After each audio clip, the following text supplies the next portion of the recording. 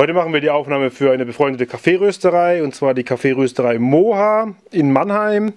Äh, bekannt für sein Premium-Kaffee aus aller Herren Ländern.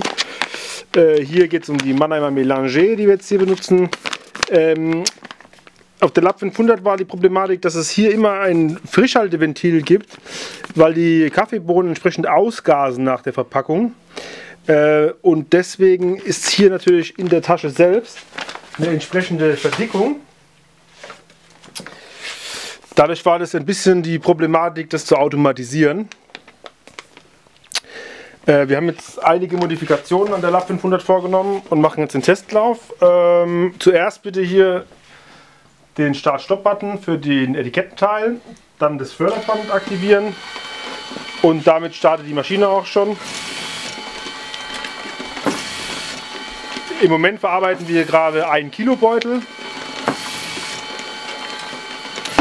Man sieht da entsprechend, dass der Zähler zählt entsprechend die Stückzahl mit, die bereits äh, gelabelt wurde. Wenn man die Maschine ausschaltet, resettet sich der Zähler.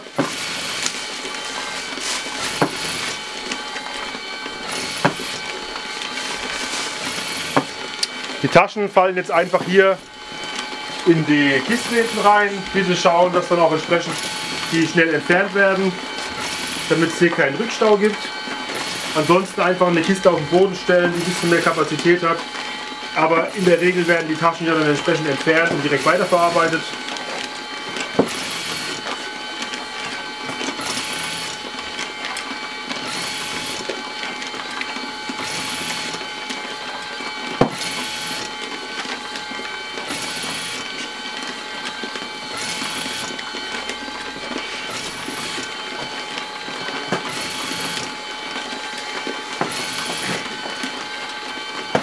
Also man sieht von der Positionierung her, es ist absolut akkurat, es ist weniger als einen halben Millimeter Toleranz.